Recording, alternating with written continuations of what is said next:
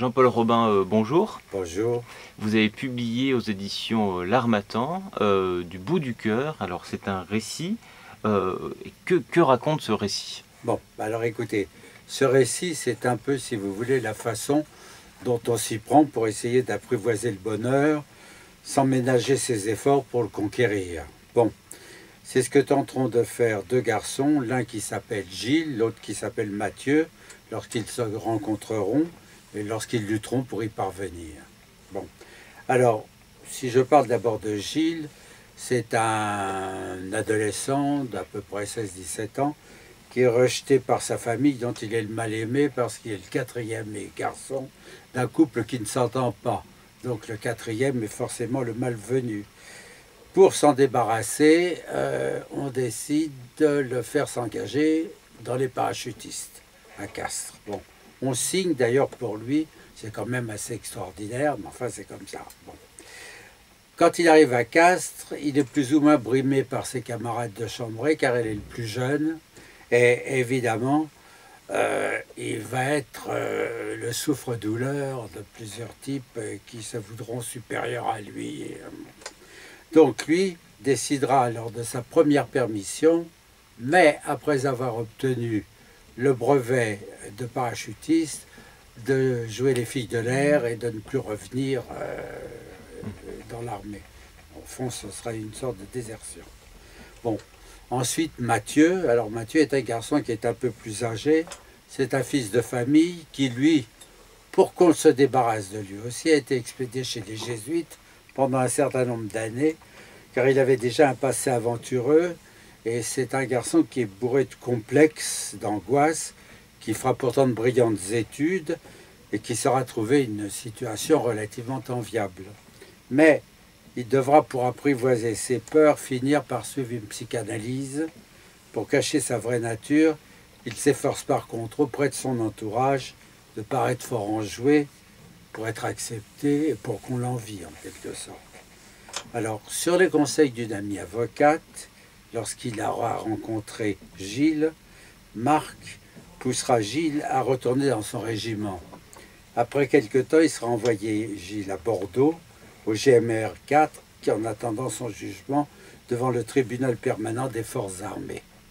À Paris, auparavant, il aura été examiné par un psychologue euh, qui lui donnera un rapport dont se servira une avocate amie de Mathieu pour pouvoir plaider auprès du tribunal des forces armées.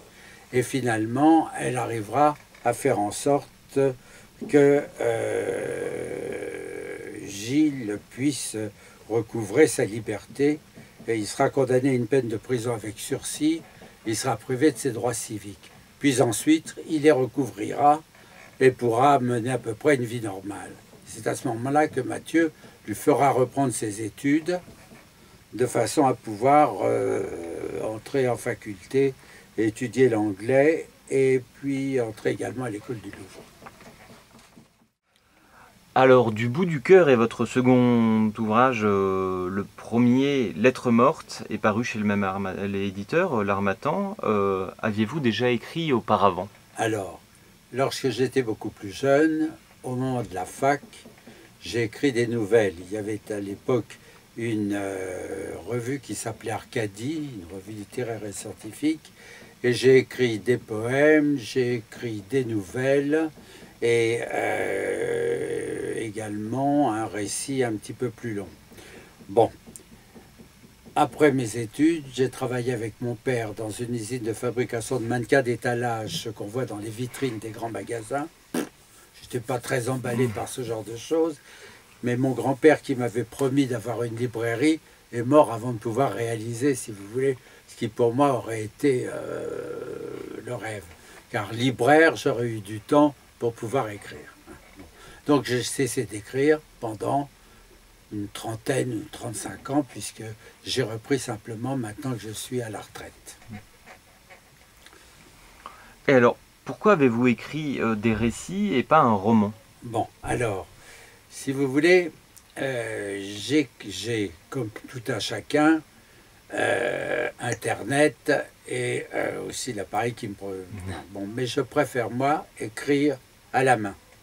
Ce qui est très curieux, c'est que j'écris dans un café, au fin fond du café, sur une table, et j'observe de temps en temps, quand je cherche quelque chose, toujours les mêmes habitués qui discutent, vous savez, les habitués mm. du matin qui sont assez marrants et qui tous sont venus les uns après les autres me voir en disant Oh, qu'est-ce que vous faites? Pourquoi vous écrivez? Qu'est-ce que vous écrivez? Etc. J'aurais dit Écoutez, vous verrez plus tard, mm. je vous ferai cadeau d'un bouquin. Bon. Et euh, hmm, lorsque je me mets à écrire, ma force de concentration, si vous voulez, est d'une centaine de pages manuscrites. Au bout d'une centaine de pages manuscrites, j'ai à peu près dit ce que j'avais à dire sur le sujet que j'avais choisi. 100 pages manuscrites, ça fait à peu près 130 à 140 pages chez vous à l'armatan. Mais j'ai l'intention de continuer. J'ai d'ailleurs un bouquin qui est pour le moment en gestation et je vais écrire un roman très probablement beaucoup plus long. Parce que lorsque j'étais beaucoup plus jeune, j'avais euh, envoyé un manuscrit euh, à la libre, euh, chez Plomb. Bon, ce manuscrit avait été édité. Lorsque je suis retourné voir Plomb, maintenant que j'ai du temps, m'a dit mon pauvre monsieur, tout est mis au pilon, nous n'en avons plus du tout. Mais à l'époque, on ne faisait pas comme on fait maintenant. Vous nous faites faire beaucoup de boulot pour vous donner ensuite, si vous voulez, le manuscrit avec la taille et le format que vous demandez, tandis que dans le temps, on recevait un bouquin qui était entièrement édité et on devait faire des corrections si nécessaire pour la prière d'insérer. Donc moi je possédais le bouquin. C'est le seul que je possédais. Je leur ai dit je l'ai. Donc ils m'ont dit écoutez, confiez-le nous. J'aurais rétorqué faites attention, c'est le seul. Il m'a dit écoutez, on n'est pas des marchands de soupe, nous sommes des éditeurs. Et lorsqu'ils ont lu le bouquin, je leur ai expliqué que je voulais écrire une suite qui elle serait beaucoup plus longue.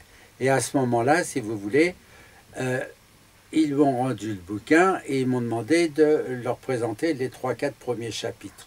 On dit ça va, vous pouvez continuer. Donc j'aurai un bouquin qui sera beaucoup plus long aussi. Mais finalement, je ne sais pas si ce sera chez Plomb, puisque maintenant je suis à l'Armatan. Au fond, je suis infidèle, je préfère rester chez vous, mmh. probablement. Euh, pourriez-vous nous lire un ou deux extraits de votre ouvrage? Oui, alors ces extraits, je vais vous expliquer pourquoi je les ai choisis. Une partie de mon œuvre est ou sera fixée sur mon goût pour les adolescents, puis leurs amours, leurs ambitions et aussi leur avenir. Alors, le premier extrait que je propose est celui-là. Voilà qui me fait drôle, me dit-il. Voilà qui me change. J'ai réalisé qu'avec ton contact, Thomas, il s'éloignait le garçon que j'ai été. Mais pourtant, pour ceux qui me comprennent et ne me mentent pas, je suis sûr qu'il est encore là, naïf et confiant, aimant la lumière et les êtres. Deuxième euh, chose, un soir que je suis allé à Cannes par curiosité, entre parenthèses, est seulement par curiosité, je me suis ensuite promené sur la croisette, puis je me suis assis sur une chaise bien en vue.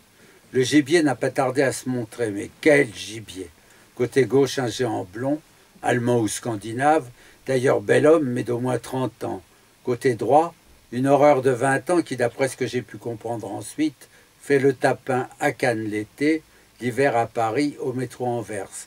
Je me suis sauvé la tête basse et, entre parenthèses, on comprend ce que je veux dire.